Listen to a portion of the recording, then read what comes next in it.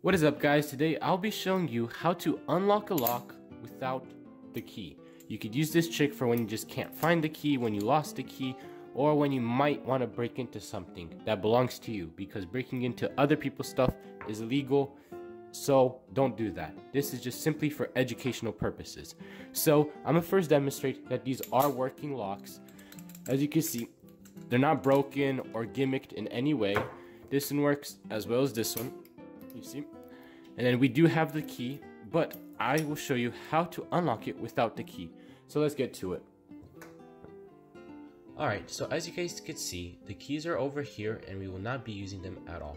Let's try the first lock. So what you want to do, you want to double tap on the back of the lock. This is a trick used by police and other such law enforcement that makes the lock open by itself. Here we have it one more time. What you want to do, you want to double tap on the back.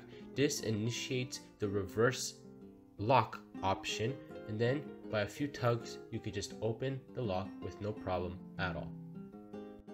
Alright, here we have it one more time. As you can see, the lock is locked and you cannot open it. But once you turn it around, double tap, give it a few pulls, and the lock opens up with no problem. Quick disclaimer, do not break into anybody's stuff that is illegal and I will not be held responsible for you doing illegal stuff. Anyways, thank you guys for watching and I will see you again in the next video.